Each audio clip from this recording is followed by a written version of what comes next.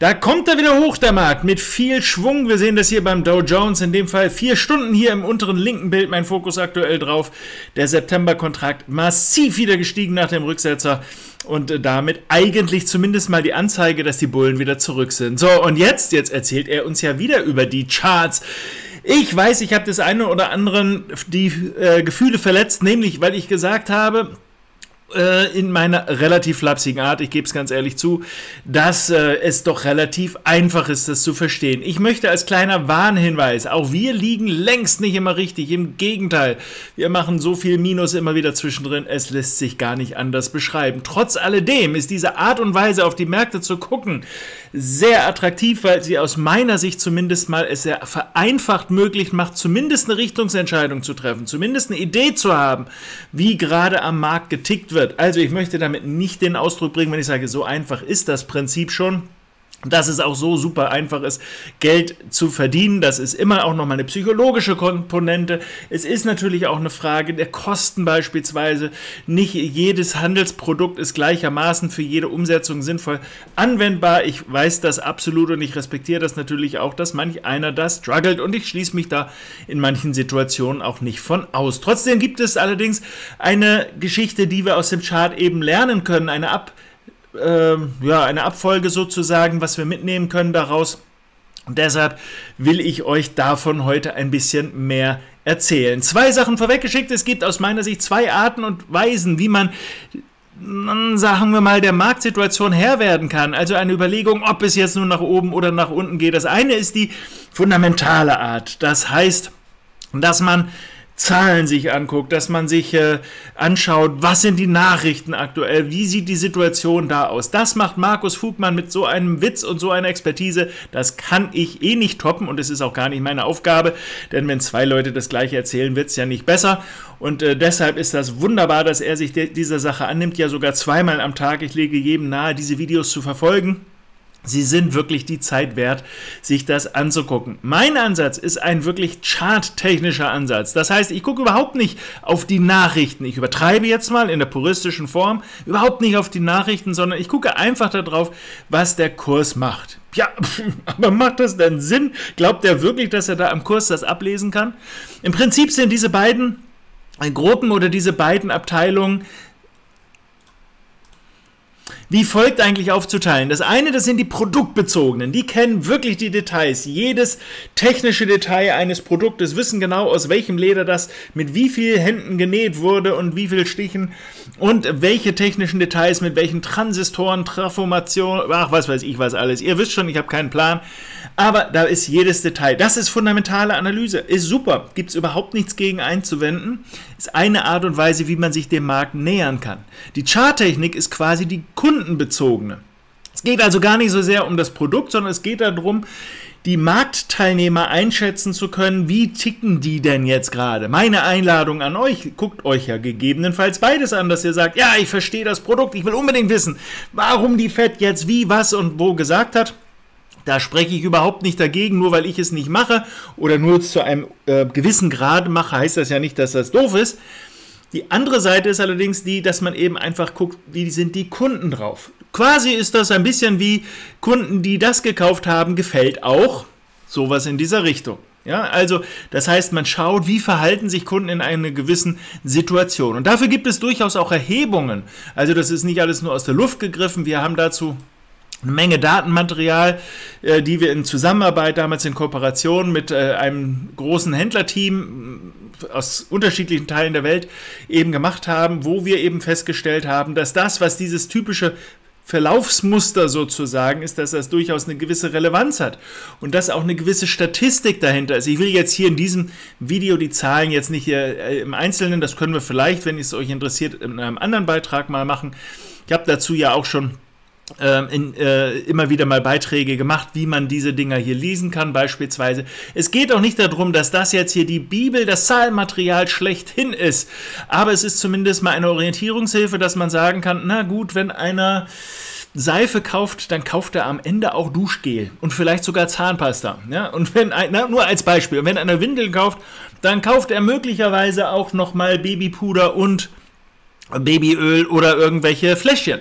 Das ist einfach ein äh, relativ nachvollziehbarer Zusammenhang. Es geht dabei nicht darum, ja, aber sind die denn jetzt aus welchem Material? Das ist nicht das Thema, sondern es geht darum, für was interessieren sich die Marktteilnehmer?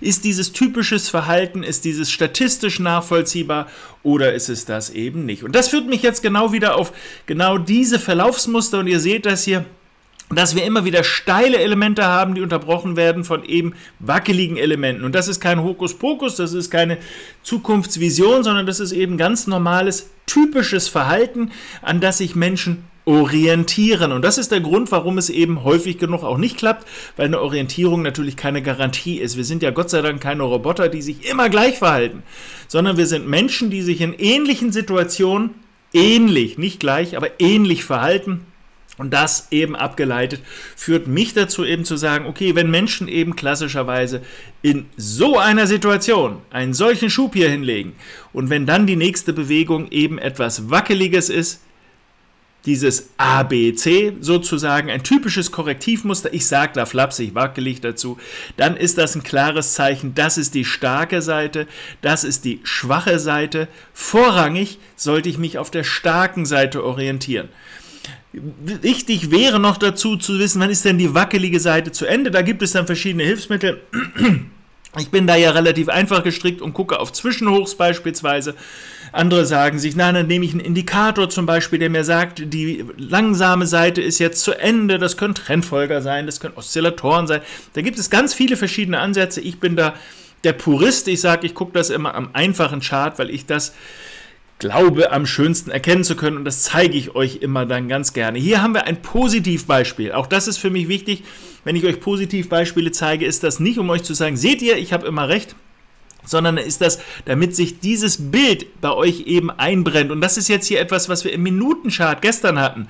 Ist also schon eine Weile her. Im Minutenchart hier beim Nasdaq. Ihr seht die sehr steile Aufwärtsbewegung und wir sehen etwas, was A, B, C nach unten geht. Es ist nun mal eine A, B, C, dreiwellig, was ich immer sage. Entweder wackelig oder eben klassisch dreiwellig. Und das spielt gar keine Rolle, ob ihr das hier im großen Chart hier habt, im Tageschart, wo wir eine recht steile Aufwärtsbewegung und eine A, B, C nach unten haben, oder ob das hier im Minutenchart ist, zack, und eine A, B, C hier. Und dann gehen wir das machen wir ja auch immer wieder, dass wir diese Art des Tradings uns äh, äh, euch vorstellen hier. Dann gehen wir auf diesen Zwischenhochs hier entsprechend rein mit der Zielerwartung, dass der Kurs zumindest mal die 100er Marke erreicht. Das ist zumindest was sehr typisches. Und der Stop eigentlich hier unten drunter wobei wir nochmal auf die 78er, das hat wieder was mit unseren Statistiken zu tun, weil das kaum einen Nachteil hier bietet, aber eben eine deutliche Verbesserung der Chance-Risikorelation. Das mal an all diejenigen, die jetzt das immer kritisch sehen und ich das, mag das sehr gerne eigentlich, dass man sich kritisch mit der Situation auseinandersetzt. Also ich sehe das gar nicht als negativ an, dass man hier jeden Mist alles glaubt und sagt, ja, hier, das ist alles super sondern ich finde es super, wenn man sich kritisch mit der Situation auseinandersetzt. Mir ist aber auch wichtig, dass ihr nachvollziehen könnt, warum wir etwas tun und ob das dann für euch die richtige Variante ist. Das entscheidet ihr dann natürlich oder habt ihr vielleicht auch schon entschieden, äh, wenn ihr feststellt, was mag ich lieber, wo habe ich das bessere Auge dafür. Der eine ist eben mehr der Number Cruncher und sagt sich, da kenne ich mich aus, da habe ich ein Gefühl dafür, das verstehe ich. Und die anderen sagen eher, ich gucke eher auf das Verhalten. Also wir sind die Verhaltensforscher sozusagen, die Verhaltensorientierten hier im Chart und nicht so sehr. Ist es gerechtfertigt? Keine Ahnung, ob es gerechtfertigt ist. Ich weiß es einfach nicht. Aber ich weiß halt, wie die Herde im Moment losläuft und äh, dementsprechend versuche ich das ein bisschen zu visualisieren und euch eben teilhaben zu lassen. Gebt aber nicht auf, egal für welche Variante ihr euch jetzt entscheidet. Ob ihr jetzt sagt, ich bin der Charttechniker und ich habe doch immer noch wieder Probleme, gebt nicht auf. Und wenn ihr sagt, ich bin der Fundamentalist, aber ich hänge da auch an mancher Stelle fest, gebt nicht auf. Nutzt hier das tolle Angebot auch von Markus Fugmann. Ich kann das wirklich nur wiederholen. Der macht das in einer wunderbaren Art und Weise. Aber folgt auch gerne hier meinen Beiträgen, wenn ihr sagt, ein bisschen spannend ist es ja dann doch immer, was der komische Kerl da erzählt, auch wenn er immer sehr überzeugt ist von dem, was er da sagt. Also in diesem Sinne wünsche ich euch jetzt erstmal alles Gute. Machen wir als Schlusswort nochmal, zumindest mit dem Blick auf den Dow Jones. Da haben wir eine deutliche Anstiegsbewegung. Denkt dran, wenn es jetzt hier wackelig nach unten geht. Jetzt können wir doch sagen, es geht zumindest wackelig hier runter. Können wir also long gehen, wenn es hier hingeht? Ja, streng genommen ist das eine Long-Anzeichen. Da kommen jetzt schon wieder die ersten Einschränkungen, das werde ich dann in einem späteren Video etwas genauer erklären. Am liebsten habe ich es, wenn Rücksetzer zumindest in die Nähe der 3820er fallen, denn je dichter es dahin geht, eigentlich so ungefähr in dieses Gebiet hier, desto klarer ist das eine vollwertige Korrektur eines, äh, eines Anstiegs. Also, wenn ich mir was wünschen darf, bitte, bitte mach nochmal einen tiefer so und dann geh hoch. Und dann ist das hier für mich ein wunderbarer Einstieg, genauso wie ich das eben erklärt habe. Also, ihr seht, so einfach ist es dann tatsächlich doch nicht. Ich mache das manchmal eben sehr vereinfachend, aber auf solche Details will ich sehr gerne, insbesondere wenn ihr euch das wünscht, deshalb macht viele Kommentare darunter unter dieses Video, will ich da gerne auch nochmal intensiver eingehen. Ansonsten kann ich euch nur empfehlen, meldet euch bei Born for Trading an. Da erkläre ich solche Sachen regelmäßig in kleinen Videoeinheiten, sodass ihr auf euer Smartphone, ihr könnt das kostenlos ausprobieren, das ist überhaupt gar kein Problem.